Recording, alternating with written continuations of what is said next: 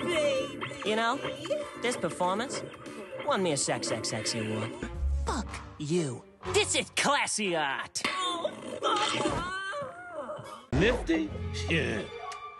You don't even want to know what her deal is. I'm just not quite understanding why it's not working. Okay, okay, think, Charles. Think, think, think, think, think, think, think, think. Well, I'd like to meet the big dick in charge. The ultimate bad boy. I bet he's scary. Okay, people, Lucifer is on his way, so we are gonna get this place presentable and we are going to make an amazing impression. Vamonos!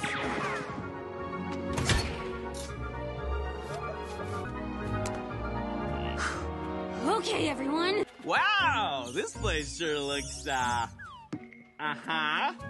Yeah, uh-huh. This is Sir and Angel Dust, our guests. Your Majesty! Hey, you short king. Husk is our bartender, and Niffty is our housekeeper. Nice to meet you. Hello.